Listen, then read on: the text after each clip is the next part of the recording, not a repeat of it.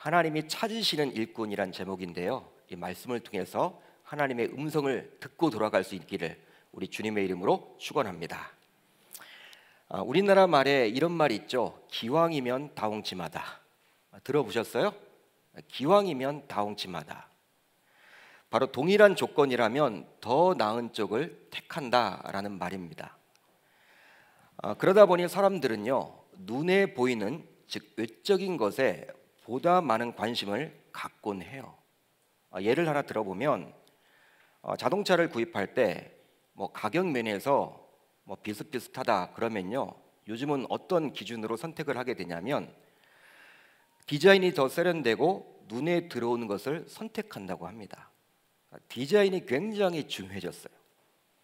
또 기업의 입장에서도 청년들의 스펙이 또 성적이 엇비슷하다라고 하면 기왕이면 키도 크고 인물도 잘생겼고 예쁜 사람을 뽑는다 그래요. 그래서일까요? 사람들은 외적인 것에 보다 많이 투자하고 신경을 쓰는 것만 같습니다. 실제로 사람을 평가할 때도 그 사람이 지금까지 어떻게 살아왔는지에 대한 스토리보다는 어, 보여드릴 수 있는 스펙이 굉장히 중요한 시대예요.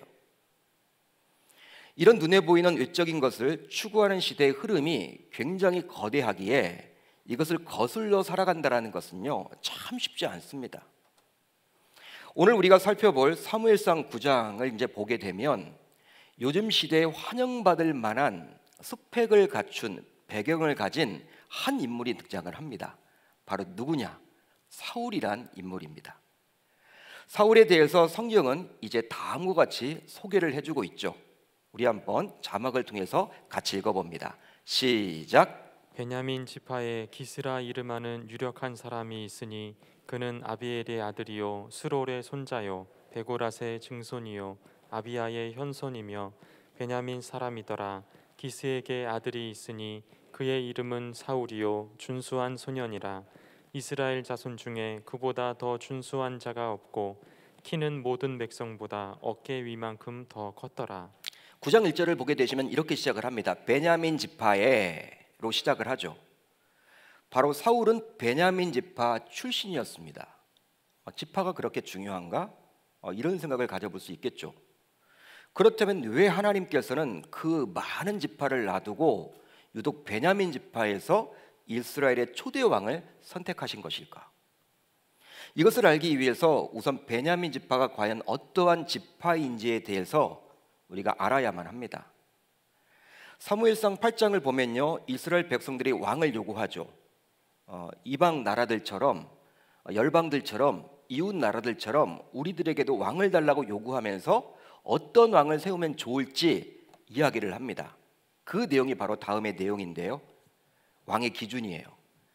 우리도 다른 나라들 같이 되어 우리의 왕이 우리를 다스리며 우리 앞에 나가서 우리의 싸움을 싸워야 할 것이니이다. 어떤 왕을 세면 좋겠다라고 이야기를 합니까? 바로 자신들을 다스리면서도 자신들보다 앞서 나가서 싸울 수 있는 용맹한 용사를 이야기하는 거예요. 그러니까 여러분 겁이 많은 사람이 아니라 용사와 같은 왕을 원한 거예요. 이스라엘 백성들이 요구한 왕의 자질 바로 용맹한 왕이었습니다. 그런데 이것에 합당한 지파가 바로 베냐민 지파였어요. 베냐민 지파라 할 수 있습니다.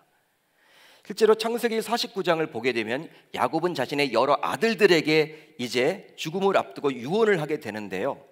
막내 아들이었던 베냐민에게는 이렇게 유언을 합니다. 베냐민은 물어뜯는 일이라. 참 여러분 유언치고는 독특한 유언이라고 할 수 있겠죠. 뭐 이런 유언을 하냐? 야곱의 유언은요 어, 자녀들의 미래를 내다보고 지금 하고 있는 예언적인 요소가 있습니다. 근데 여러분 긍정적인 게 아니죠. 물어뜯는 일이라 충격적입니다. 어, 정말 사랑하는 막내 아들에게 어떻게 이런 유언을 할 수 있단 말입니까?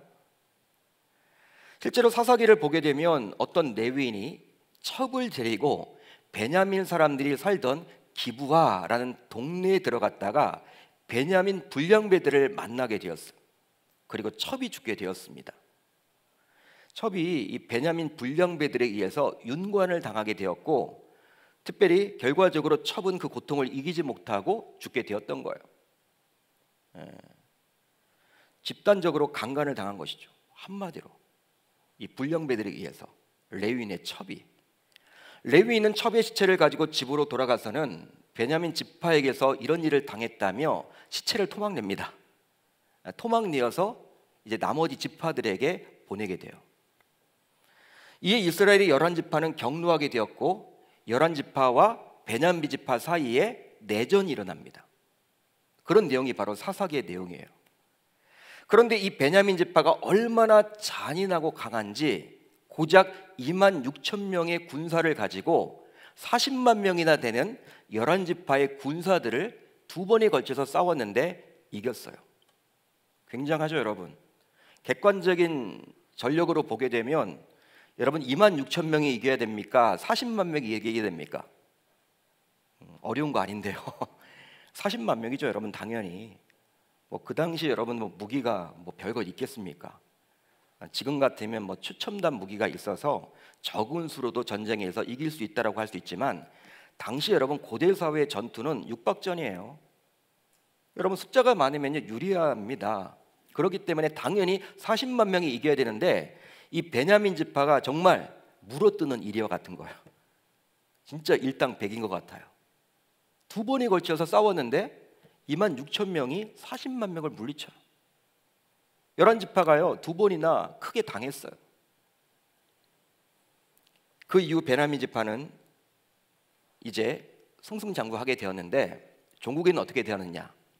두 번이나 패배한 이스라엘 백성들이 하나님 앞에 기도하게 되었고 하나님의 약속을 믿고 나아감으로 이제 마침내 세 번째 전투에서는 열한 지파가 이기게 됩니다.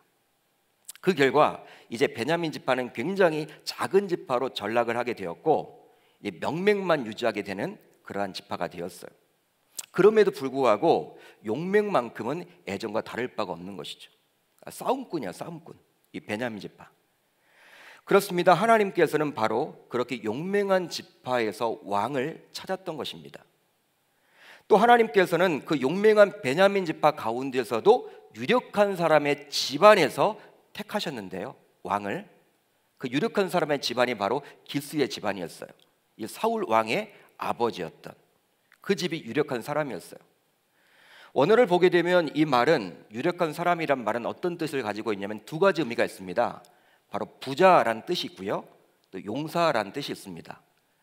여러분 그렇기 때문에 이 기스의 집안, 이 사울 집안은요 용사 집안이면서도 부유했음을 알 수가 있는 거예요. 한마디로 여러분 집안 배경이 좋은 거야. 돈이 많은 거예요. 재력이 있는 거예요.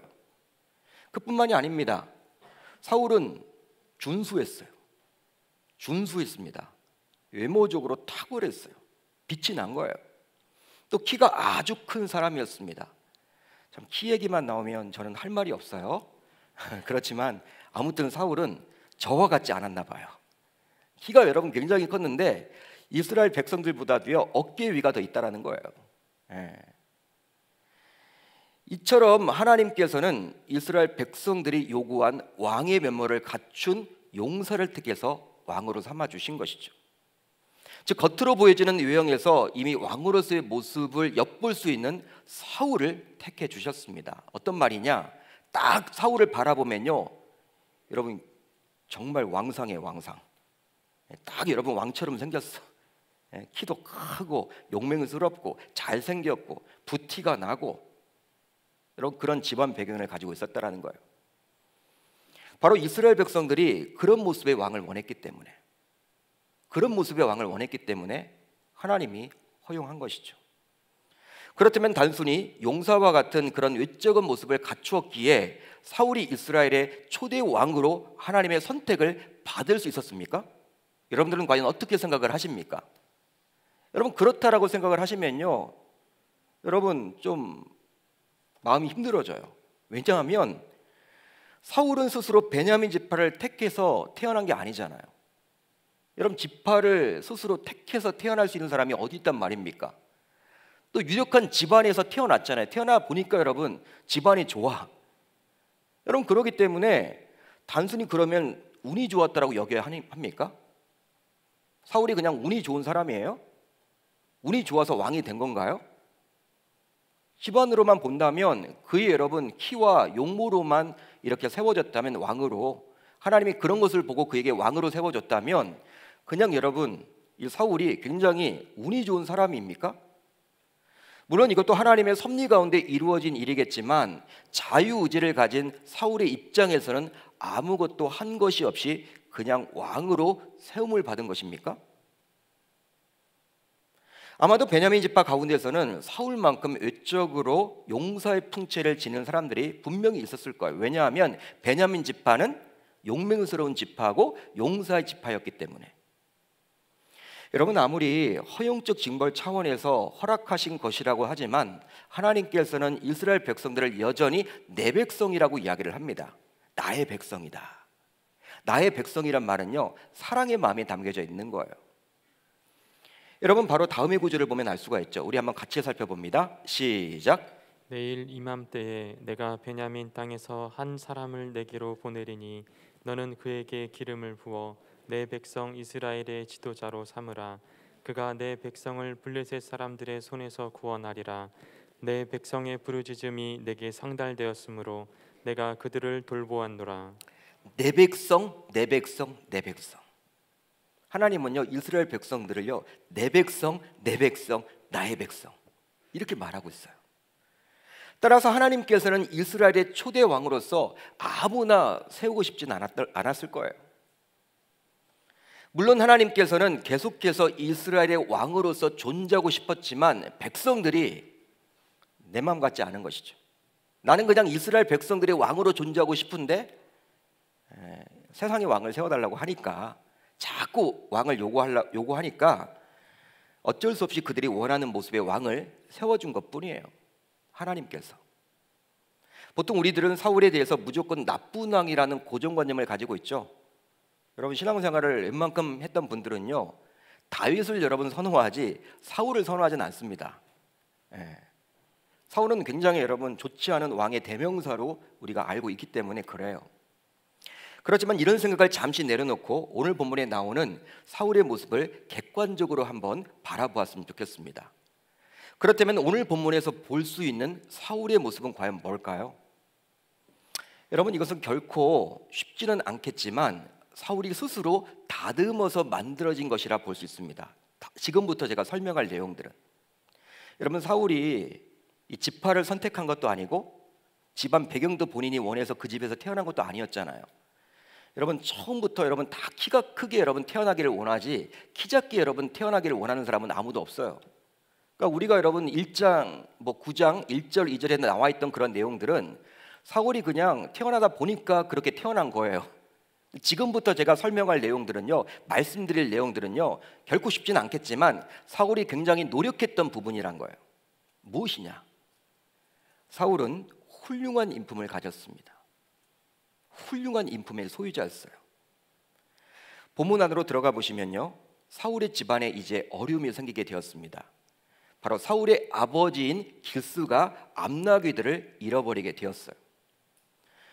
고대 사회에서 나귀는요 부자나 신분이 아주 높은 사람들이 자신의 부와 위엄을 드러내고자 타고 다녔던 가축이었어요. 이 나귀는요. 예수님이 여러분 이제 공생의 사역을 거의 마무리 지으면서 이 종료 주일 종료 주일에 여러분 나귀를 타고 올라가잖아요. 어떤 분들은 그게 뭐 굉장히 예수님이 겸손 겸손하신 모습이고 또 검소하게 그렇게 탔다라고 하는데 아니에요. 왕으로 여러분 올라가시는 거예요. 고대 사회는요 왕들이 여러분 나귀를 타고 다녔어요. 굉장히 여러분 이렇게 자신의 위험을 드러낼 수 있는 가축입니다. 그러게 지금으로 치면요 수억 원 상당의 고급 세단이에요. 수억 원 상당의 고급 세단 확 여러분 와닿지 않습니까? 이 나귀가 그걸 여러분 굉장히 많이 잃어버린 것 같아요. 복수형으로 기록이 되어 있습니다. 한 마리 정도가 아니에요. 여러분 이것을 통해서 야 사울의 집안이 굉장한 집안이었구나, 굉장한 재력가였구나 알 수 있는 것이죠. 더욱이 암나귀는요 순나귀에 비해서 온순하고 새끼를 낳을 수 있게 더욱더 고가였습니다. 더욱더 존귀하고 귀하게 여김 받았어요. 이런 가치 는 가축들을 잃어버리게 되었으니 아버지 기스가 사울과 그 사환에게 찾아오라고 명을 내린 것이죠. 그런데 이런 아비 요구에 사울은요 어떤 반응을 보입니까? 오늘 말씀을 쭉 읽어보시면요 군말하지 않고 순종해요. 우리들 같으면 여러분 순종하면서 아버지께 묻겠죠. 예, 나귀가 지금 어느 쪽으로 갔냐고, 어느 방향으로 간 것 같습니까? 아, 순종하기는 하지만 물을 만도 한데 사울은요 아버지께 묻지도 않고 이곳저곳을 찾아 헤매요. 즉 사울은 부모의 권위에 순종했던 자였습니다. 그뿐만이 아니에요. 사울은 자신과 함께 동행했던 사환의 말에 귀를 기울였다라는 거예요. 암나기들을 찾으라는 아비의 명을 받아서 이제 집을 떠나서 찾고 다녔는데 며칠이 지나도록 찾지를 못하는 거예요. 암나기가 어디에 있는지 알 수가 없어요. 그러자 이제 이 사울은요 집으로 돌아가려고 합니다. 그때 사울과 함께 암나기를 찾아 헤매었던 사환이 근처에 있는 하나님의 사람에게 찾아가 보자고 제안을 해요. 그런데 놀랍게도 사울은 이 사환의 이야기에 관심을 기울이게 되었고 이 사환의 말을 따릅니다. 이게 여러분 지금 우리의 관점으로 보게 되면 무슨 대수냐라고 할 수 있겠지만 그렇지 않아요. 고대 사회 관점으로 보게 되면 주인의 아들과 사환의 관계이기에 위기의 질서가 있었던 상황이기에 사울이 이 사환의 말에 귀를 기울일 필요는 없는 거예요. 당시는 그런 사회적인 분위기가 아니었습니다. 여러분 본문을 자세히 보시면요. 사환은 자신의 의견을 스스럼 없이 주인의 아들인 사울에게 이야기를 하고 있어요. 그리고 사울도 그것을 받아들입니다. 이걸 통해서 뭘 알 수가 있느냐? 사울이 여러분 평상시부터 아랫 사람들에게 굉장히 친절했고 예, 그들의 의견을 여러분 스스럼 없이 받아들였다는 사실을 알 수 있는 거예요. 만약에 여러분 사울이 괴팍한 성격의 소유자다. 아랫 사람이 말하는 것을 여러분 무시하기 일수다. 그러면요 어떤 여러분 사환이 말을 하겠습니까? 제한하지 않죠. 평상시에 사울의 성품을 엿볼 수 있는 거예요. 실제 계급이 존재하지 않는 이 시대 속에서도 종종 우리들은 힘을 가진 자가 힘없는 자를 대상으로 갑질을 하는 경우들을 언론을 통해서 보곤 합니다. 예를 들어 보면 직장 내에서 상사 혹은 오너의 갑질이 있죠. 또 식당 혹은 백화점에서 고객의 갑질이 있습니다. 종업원들에게. 또 아파트에서 주민의 갑질, 또 하드급 업체에 대한 갑질 등등. 여러분 갑질이 얼마나 많은지 몰라요. 지금 우리 사회는요 평등한 사회임에도 불구하고 그러나 당시는요 갑질이 당연시 여겼던 사회였어요.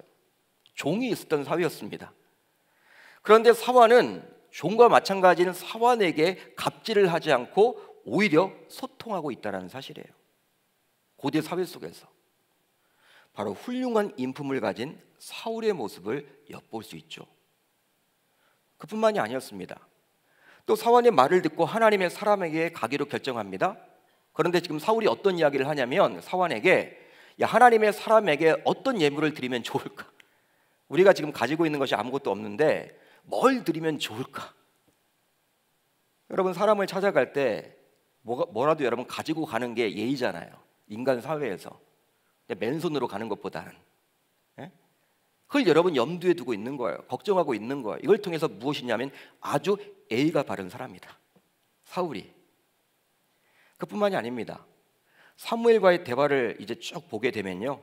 사울의 모습이 나오는데 굉장히 자신을 낮출 줄 아는 겸손한 사람이었다라는 사실이에요.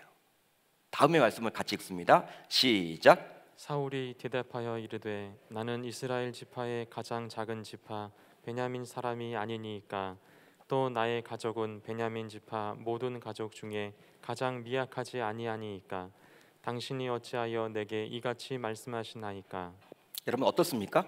이 말씀을 읽어 보시니까 이 구절 안에 사울이 과연 어떤 인품의 소유자인지 여러분 다 우리가 알 수 있죠. 여기 다 드러나 있어요. 권위에도 순종할 줄 알면서도 또 아랫사람의 말에 경청할 줄도 알았고 인간 사회에서 예의가 굉장히 바랐고 자신들 자신조차도 굉장히 낮출 줄 아는 사람의 대명사가 바로 누구였다? 사울이었다. 아마도 요즘에는 사울과 같은 이런 인품을 가진 자가 굉장히 드물기 때문에 아마 이런 분들이 요즘 직장에 다니면요 천연 기념물 취급을 당할지도 모르겠어요. 이런 인품의 소유자 굉장하죠, 여러분. 아무튼 오늘 말씀만으로 살펴보더라도 사울은 성품만큼은 인품만큼은 감히 top이라고 여길 수 있습니다. 따라갈 자가 없는 거예요. 그뿐만이 아니었습니다. 사울은 자신에게 맡겨진 일에 책임감을 가지고 최선을 다했다라는 거예요. 여러분 어떤 일이 맡겨지게 되면 책임감을 가지고 최선을 다하는 사람이 바로 사울이었다. 아버지 기스가 잃어버린 암나귀들을 찾으라고 명을 했을 때 사울은 즉각 아버지의 명을 받들어서 순종을 합니다. 그런데 오늘 본문을 보시면 사울이 갔던 곳의 지명이 아주 자세하게 기록이 되어 있다는 사실이에요. 우리 같이 읽습니다. 시작. 그가 에브라임 산지와 살리사 땅으로 두루 다녀 보았으나 찾지 못하고 사할림 땅으로 두루 다녀 보았으나 그곳에는 없었고 베냐민 사람의 땅으로 두루 다녀 보았으나 찾지 못하니라. 두루 다녀 보았으나 찾지 못하고 두루 다녀 보았으나 그곳에는 없었고 두루 다녀 보았으나 찾지 못하니라 반복이죠. 여러분 이 말씀 안에는 여러 군데 지명이 나와요. 어떤 곳이 나옵니까? 우선 에브라임 산지, 살리사, 사할림, 또 베냐민 사람들의 땅이 나오고 있어요. 사울은 아버지의 명을 받아서 이 네 군데의 땅을 두루두루 살펴보았던 거예요. 여러분 이 땅을 지도에서 찾아서 이렇게 우리가 거리를 재보면요. 최소 40km 정도 나옵니다. 최소 40km 정도. 여러분 지금의 생각으로 보시면 안 돼요. 지금의 관점으로 오시면 안 돼요. 지금 차 타고 가면 뭐 40km 정도 금방 갔다 오죠. 당신 여러분 거의 걸어 다녔잖아요. 즉 사울과 사화는요 함께 결코 가깝다 할 수 없는 그 거리를 두루두루 다녀봤다라는 거예요. 실제로 기스의 집에 있었던 암나귀들이 어떤 방향으로 나아갔는지 알 바가 없습니다. 알 수가 없습니다. 그렇기 때문에 보통의 경우에는 아버지가 명하셨기 때문에 네, 순종하겠습니다 하라고 집을 떠나지만 금방 돌아올 수도 있어요. 아버지 찾아봤더니 없네요. 없습니다. 불가능하다고 여기면서 그냥 찾는 척 하다가 아베르고 대부분 돌아올 거예요. 그게 여러분 상식이죠. 해보는 거죠. 해보지만 안 된다. 불가능하다. 그냥 여러분 찾아 동네 여러분 찾아봤다가 없으면 그냥 돌아오겠죠. 실제 그렇게 한다고 해서 누가 뭐라 하겠습니까? 그뿐만이 아니죠. 실제 아버지 기스의 입장에서도 아들인 사울에게는 부탁을 했지만 이미 잃어버린 암나귀들을 꼭 찾는다라고 생각은 하지 않았을 거란 말이에요. 이미 여러분 떠났는데 뭐 어디 가서 찾겠어요. 아들을 보냈지만.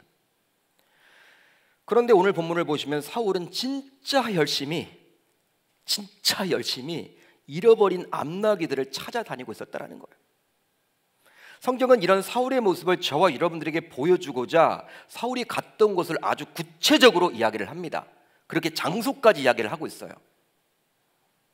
이런 사울의 모습을 보면서 사울이란 인물은 자신에게 맡겨진 일만큼은 책임감을 가지고 최선을 다했다라고 볼 수 있는 거예요. 실제로 현재에도 사울과 같이 책임감이 강한 사람들이 어디에서나 인정을 받게 되어 있죠. 여러분 직장에서 어떤 사람들이 인정을 받습니까? 승진을 합니까? 책임감이 강한 사람들.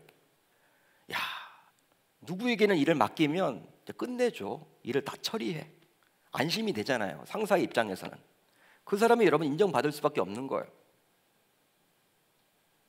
여러분 이렇듯 오늘 본문에 나오는 사울의 모습을 보고 있노라면 이런 모습을 갖추었기에 하나님께서 그를 택하사 이스라엘의 초대 왕으로 삼아 주시지 않았나 생각해 볼 수도 있을 거예요.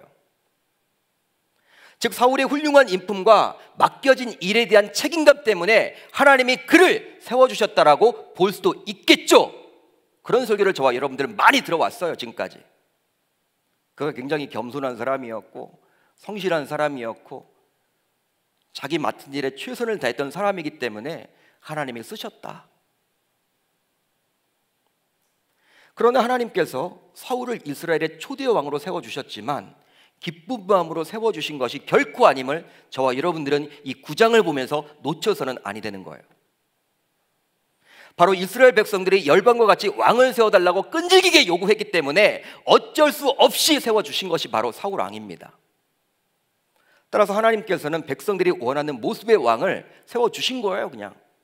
세워 달라고 하니까 열방의 왕을 달라고 하니까 진짜 왕도 한번 가져봐라. 세워 주신 거예요. 세상 사람들이 보기에는 최고의 왕이죠. 이런 집안의 왕이 어디 있겠습니까? 키도 크고 집안 배경도 좋고 용사의 집안이고 부자고 또 인품이 이렇게 좋고 책임감이 강한데 서로 이런 사람을 왕으로 세우려고 하지 않겠습니까? 그렇게 오늘 본문에 나오는 사울의 모습은 굉장히 긍정적으로 볼 수도 있겠죠. 그러나 오히려 이런 사울의 모습은 어느 시대나 사람들이 원하는 모습임을 보여주는 것이라 할 수 있습니다. 사울을 보면서요, 야 어느 시대나 이런 사람들은 인정받는 사람이겠구나. 사람들에게는 그걸 여러분들이 아셔야 되는 거예요. 그걸 지금 보여주고 있는 거예요.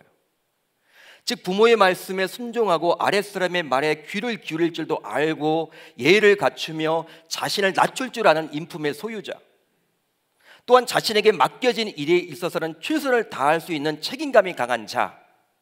이것을 갖춘 인물상을 세상은 원한다라는 거예요. 사울이 바로 그런 사람으로서 사람들이 좋아할 만한 것을 모두 갖추었던 자였습니다. 소위 타고난 집안 배경도 좋고 가진 성품 성품도 좋고 책임감까지 가지고 있으니 이런 사람을 누가 여러분 싫어하겠냐는 거예요. 여러분 누가 싫어하겠습니까? 아마 여러분 지금도 이런 사람 있으면요 대통령 세우려고 할 거예요. 예? 사람들은요. 그런데 여러분 오늘 본문을 좀 더 깊이 봅시다. 이것으로 여러분 설교가 맞춰지면 안 돼요. 지금부터 여러분 저는 하고자 하는 말이 있어요. 사람들이 원하는 인재상을 모두 갖춘 사울이었지만 한 가지가 부족했다라는 거예요. 한 가지가. 근데 이 한 가지가 가장 중요해. 이 가장 중요한 것을 지금 놓치고 있었어. 바로 사울은 영적으로 무지했습니다. 여러분 오늘 본문 5절 6절을 볼까요? 우리 같이 읽습니다. 시작. 그들이 숲 땅에 이른 때에 사울이 함께 가던 사환에게 이르되 돌아가자 내 아버지께서 암나기 생각은 고사하고 우리를 위하여 걱정하실까 두려워하노라 하니 그가 대답하되 보소서 이 성읍에 하나님의 사람이 있는데 존경을 받는 사람이라 그가 말한 것은 반드시 다 응하나니 그리로 가사이다 그가 혹 우리가 갈 길을 가르쳐 줄까 하나이다 하는지라. 여러분 이 구절을 보시면 어떻게 시작을 합니까? 그들이 숲 땅에 이른 때, 숲 지역에 이르렀다. 지명입니다. 이 숲이란 땅에 라마라는 곳이 있어요. 라마라는 도시가 있었습니다. 성읍이 있었습니다. 라마. 많이 들어봤죠. 라마는 당시 이스라엘의 최고의 지도자요 선지자였던 사무엘의 집이 있었던 곳이었어요. 그런데 사무엘이 거하고 있었던 숲 지역은 당시 사울이 있었던 거했던 기부아에서 약 8km 정도 떨어진 곳이었습니다. 그다지 멀다라고 생각되어지지 않아요. 8km 정도. 여러분 사무엘이 누구입니까?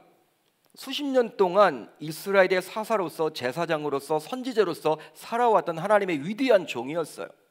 이스라엘 백성들 치고요. 사무엘 모를 사람이 있을까요? 그들은 여러분 하나님의 선민의 자손인데 하나님을 섬긴다라고 자부했던 자들인데 그렇게 위대한 종 사무엘을 모를 리가 없잖아요. 모를 리가 없습니다. 여러분 영적인 것에 조금이라도 관심이 있다면 사울이 사무엘이 어떻게 생활을 하고 어떤 사역을 감당해 나아가며 주로 어디에 머무는지에 대해서 관심을 가질 수밖에 없겠죠. 그러게 당시 미천한 취급을 받았던 사환조차도 자신들이 있었던 숲 땅에 하나님의 사람이 있었음을 알고 있었습니다. 이 성읍에 라마에 하나님의 사람이 있는데 존경을 받는 사람이라 사원의 말이에요. 사원조차도 알고 있어. 그러나 사울은 자신이 살던 곳에서 약 8km 정도밖에 떨어지지 않은 곳에 그 위대한 하나님의 종인 사무엘이 살고 있었음을 전혀 몰랐습니다. 전혀 몰랐어요. 그러니까 사울은요, 이 사람의 열심의 대명사예요.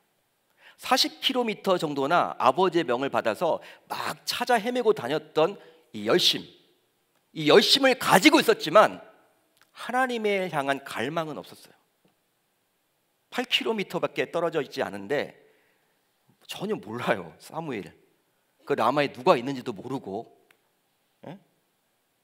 그럼 8km 수십 년 동안 사무엘이 사역을 해왔기 때문에 몰라서는 안 돼요. 몰라서는 결코 안 되고 관심을 가졌다면 찾아가 보기라도 했단 말이에요. 아니 사울은 영적으로 민감한 사람이 아니었기에 후에 사무엘을 마주치지만 그 사무엘을 알아보지도 못하고 오히려 선견자의 집이 어디 있는지 그에게 묻는 신뢰를 범하게 됩니다. 사울이 성문한 사무엘에게 나아가 이르되 여러분 앞에 놓고 예, 사무엘을 앞에 놓고 사무엘의 집이 어디냐고 또 묻는 거예요. 사무엘을 앞에 두고 사울이 그만큼 영적으로 무지했던 사람이 바로 누구였다? 네, 사울이었다. 열심은 있었지만 하나님을 향한 갈망은 없었어요. 세상에 열심은 충만했지만 하나님을 향한 갈망 자체는 굉장히 없었다라는 거. 여러분 사원은 자신이 있는 그 땅에 하나님의 사람이 있었음을 알았지만 오히려 사람들에게 칭찬받고 인정받고 관심을 받을 만한 모든 조건을 갖춘 사울은 영적인 것에 무지했습니다.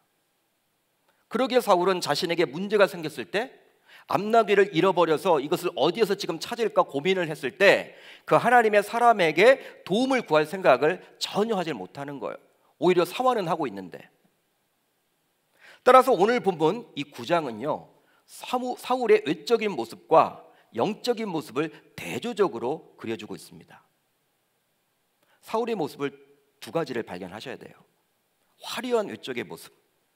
그렇지만 영적인 무지한 모습을 보셔야 돼요.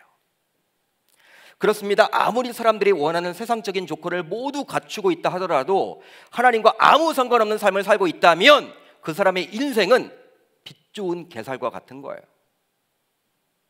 실제 모든 외적 조건을 갖추고 있었던 사울, 진짜 완벽한 사람처럼 보입니다. 탁월한 사람처럼 보입니다. 이 세상의 모든 사람들이 되기를 소망하는 사람의 모습을 그려주고 있어요. 다 여러분 본받고 싶을 거예요. 그런 사람이 되기를 꿈꿀 거예요. 그렇지만 성경은 그의 영적인 약점을 세세하게 보여주고 있다는 거예요. 이게 바로 하나님의 마음이에요. 사울은 그 이름의 뜻대로 백성들이 요구한 열방의 모든 나라와 같은 왕이었죠. 즉 겉으로 보기에는 완벽해 보이고 탁월해 보이는 모습입니다.